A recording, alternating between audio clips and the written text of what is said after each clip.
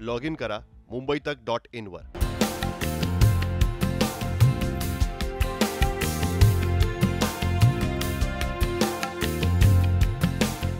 You P S सीचा खरा प्रवास तीन वर्षापूर्वी सुरू झाला. पण त्याआधी कॉलेजमध्ये असतानाच थोडंसं यू पी एस सी करायचं आहे ह्या दृष्टिकोनाने मनात होतं. मी कॉलेज ऑफ इंजिनिअरिंग पुणेमध्ये पासआउट झाल्यानंतर मी यू एसमध्ये गेलो मास्टर्ससाठी. तिथे एक वर्ष जॉब केला. आणि त्या दरम्यानच मी ठरवलं की सिव्हिल सर्व्हिसेस ची तयारी ठामपणे करायची आहे. आणि ज्यावेळेस मी जॉब सोडून इंडियात आलो तर शेवटचे दोन दोन ते अडीच वर्ष मी इंडियात आहे आणि तो प्रवास म्हणजे फुल टाईम स्टडीज करत आहे.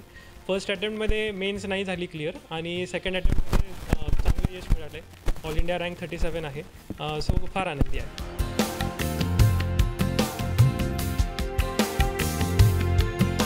पहिली अडचण माझी ॲक्च्युली यू एसमध्ये असताना होती. कारण की ज्यावेळेस मी जॉब करत होतो त्यावेळेसच मी ठरवलेलं की स्टडीज चालू करायच्यात. आणि स्टार्टिंगला तिथे मटेरियल वगैरे ऑनलाईन अवेलेबल असल्यामुळे ते थोडंसं सोप सोयीस्कर झालं. आणि ज्यावेळेस मी इंडियात आलो तर the good thing for me was I already had a foundation built आणि मी त्याच्यावरती फक्त काम करत होतो. मी स्टार्टिंग फ्रॉम स्क्रॅच असं काही करत नव्हतो. आणि ज्यावेळेस इंडियात आलो त्यावेळेस माझा ऑप्शनल मॅथ्स होता. त्यामुळे जी एस आणि मॅथ्स ऑप्शनल हे दोन्ही बॅलन्स करायला स्टा म्हणजे फर्स्ट अटेम्प्टमध्ये नाही जमलं मला. बट सेकंड अटेम्प्टमध्ये मी एक एफर्ट घेतला की दोन्ही बॅलन्स करायचं आहे जी एसमध्ये पण इक्वल एफर्ट द्यायचा आहे आणि त्या हिशोबाने मग मी स्टडी टाईम थोडासा वाढवला. Around thirteen to fourteen hours चालू केलं अभ्यास. आणि इक्वली डिस्ट्रीब्यूट केला. Seven hours for maths seven hours for G S आणि त्या हिशोबाने मी पुढे गेलो.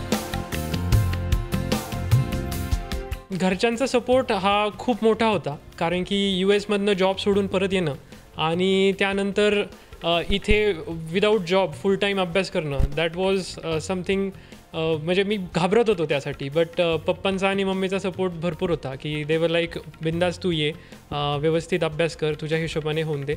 आणि नाही झालं तर पुढचं काहीतरी बघता येईल सो टेन्शन घेऊ नको. सो तो फ्रीडम खूप इम्पॉर्टंट होता.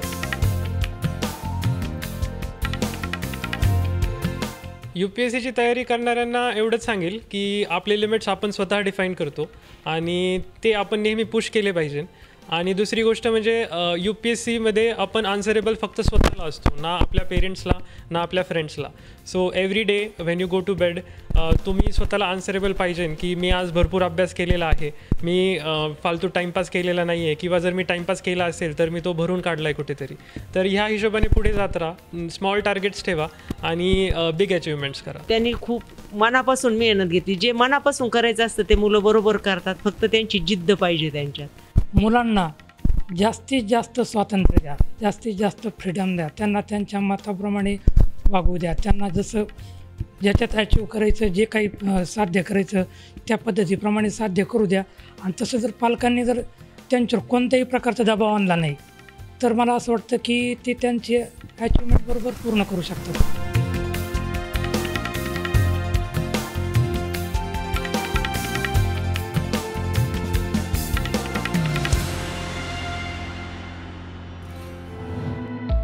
लॉग इन करा मुंबई तक डॉट इनवर